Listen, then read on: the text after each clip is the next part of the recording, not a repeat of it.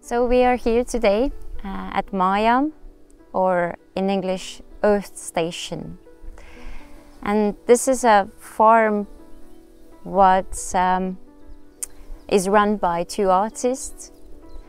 There is a residency house where artists can come and enjoy the beautiful environment and also get inspired by and create or dedicate themselves to purely art.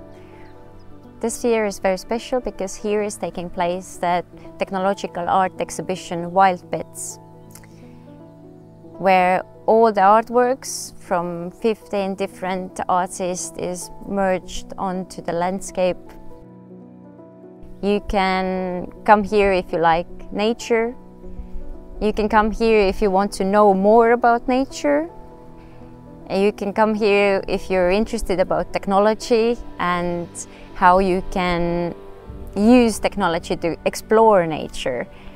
And you can come here if you like to hike because all the artworks are placed in different places and you can truly experience the landscape and artworks at the same time.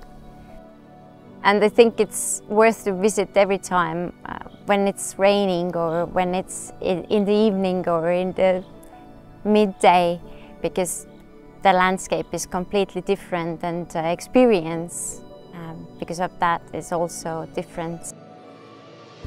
Feel free to visit Maajaam this summer whenever you feel like it.